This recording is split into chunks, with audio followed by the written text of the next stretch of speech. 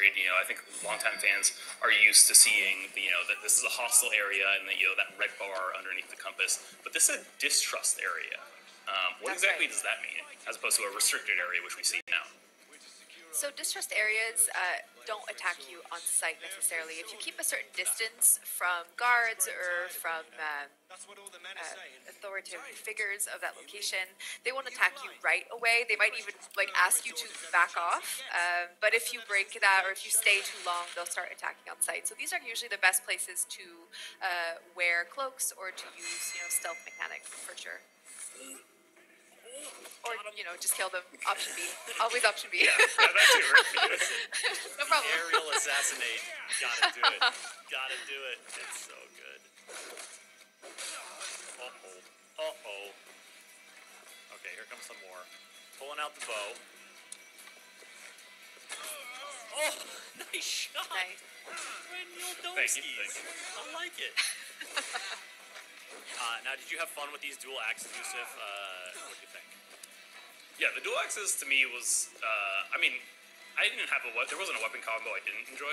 Uh, the dual axes definitely seemed like a very high damage output build though, um, and uh, felt felt very Viking-ish, if I, if I must admit. Jess, what's your vibe? What do you like to? Do you have a weapon preference? Do you have a style preference when you go into combat? Um, it's hard to say. Typically, I revolve around like a two-handed axe, like a big axe. Those are kind of my favorite. Uh, but what's cool with our uh, with the game in general is if you hold um, what is it? Is it right? Right bumper or trigger? I forget what we call the ability. Sorry about that. But essentially, the combination will do a special attack, and the special attacks vary on the weapons that you're equipped. Uh, there's some also for solo weapons, so I really like the one for uh, two-handed axe. But uh, hammers are also my second choice. She's in Temple Block. Nice. You like She the heavy hitters. hiding. Yep, yep. So, Chris, we we broke in and we found out who Ivar's um, uh, scout was, and it turns out to be Ceolbert, who's Ceolwulf, the king we're hoping to install's son. Uh, and he, he was kind of trying to prove himself. He's not very uh, battle hardened at all, and so he kind of went out on a limb here and put himself in a dangerous position to uh, to try to scout out Burgred's location, and uh, we we kind of had to bail him out of it. Uh, but now we have a new tip um, on where the queen uh, actually is, Burgred's wife.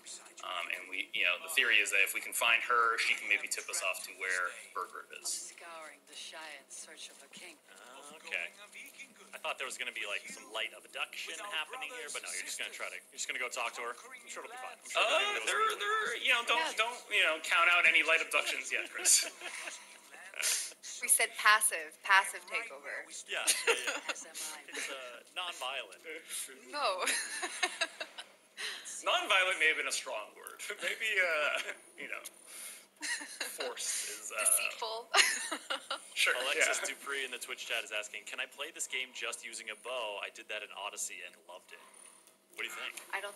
I don't see why not. Uh, from my experience, you know, there's going to be some obstacles. I think there's a couple of bosses also that warrant uh, hand-to-hand combat. We might have some events also where it's like fist fighting. Don't bring a bow to a fist fight. That's not a thing. But you know, don't do it.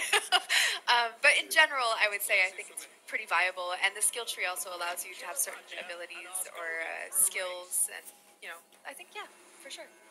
Now, when we're looking at this is something I noticed before, but when you're looking at these enemies, we see some glowing, like an element of their ar- their arsenal is glowing. Is that a way to sort of like communicate what kind of enemies you're facing?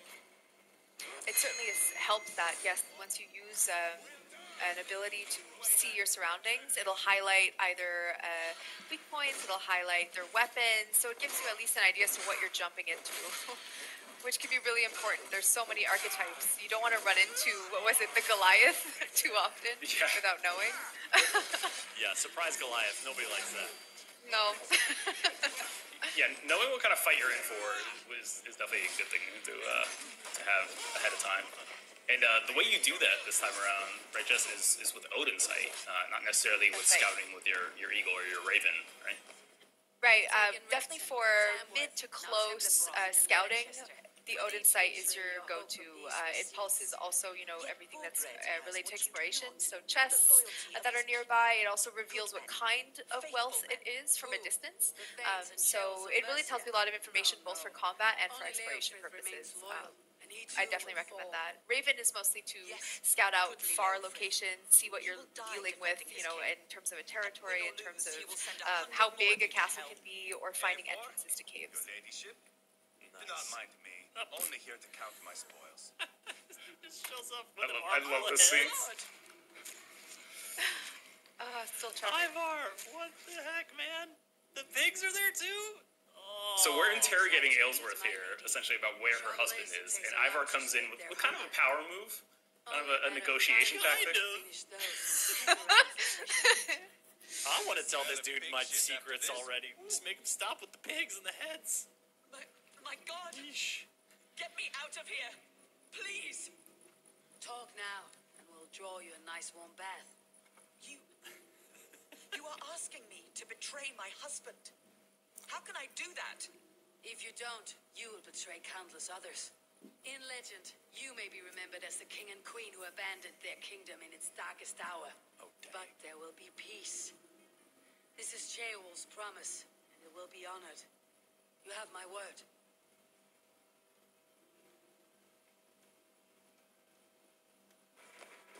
Talk about putting that lady in a tough position. But hey, it was Oh, effective, yeah. and you didn't have to, like, you know, break out the dual shields. No, only three people needed to be beheaded, Chris. I mean, it's a win. It's a net win. Net win. Oh, Alright, what so, an assault. uh, her information tipped us off that uh, Burgred is in a uh, is down here in this crypt hiding out. Uh, so we're going to infiltrate it and to uh, try to try to find him. Wow, really disposing of the body very quickly there. I like that. Instant cre- Instant cremation. Oh gosh. Okay, R.I.P. All right, so down into the crypt on the trail of the king. Uh, this is just like doing a little swimming, doing a little looting. Let me see if we can get another. Uh, Oh yeah, there's some wealth down there, Chris. Gotta get that wealth, baby. All right. Uh, 80 Cogs is asking about the HUD possibility, and like, yes, you could. There's a lot of HUD cost customization available. Uh, if you check out that article I posted earlier, it's an article on news.ubisoft.com about accessibility. It has a ton of information about different customization options. I'll put it in the Twitch chat, or just find it on news.ubisoft.com.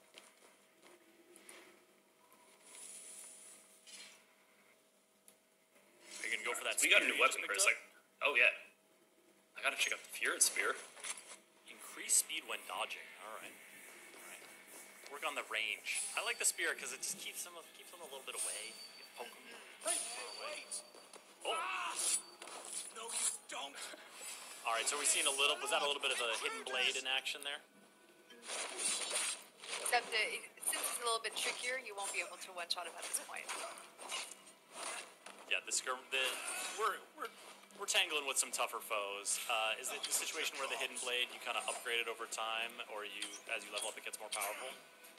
Um, I think its abilities mostly in the skill tree that will be able to enhance it. It's it's more about the difficulty of the enemy versus your own, um, and uh, we give some options in order to enhance that. I think the previous demo also showed it. Um, you can have a chance to one shot uh, based off of a, a mini game. Uh, is one of the examples we have for the uh, hidden blade. Different ways you No. can implement that. No, no, Right. no, it can't You be. found your guy. Stay back. Oh yes. That's a bread knife, my lord. Do you mean to butter me? Stay back. Back, I say. I'll fight you. If you insist. That's the last thing you want to hear when you threaten to fight someone. Have to kill me. If you Luckily for you, insist. it won't come to that. So just like you said, like this is this is a fight that you couldn't use a bow in because again we have to take you have to take Burgred alive. So uh, he's coming at Eivor with a sword and shield, and Eivor's just uh, handling him Fist with a, fighting with back. a fist. Yeah. As well.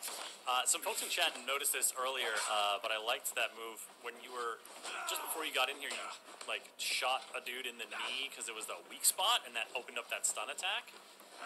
Jess, talk to me about this. Are the, the enemies have weak spots that present themselves? Is this something you kind of you kind of open up as you're fighting?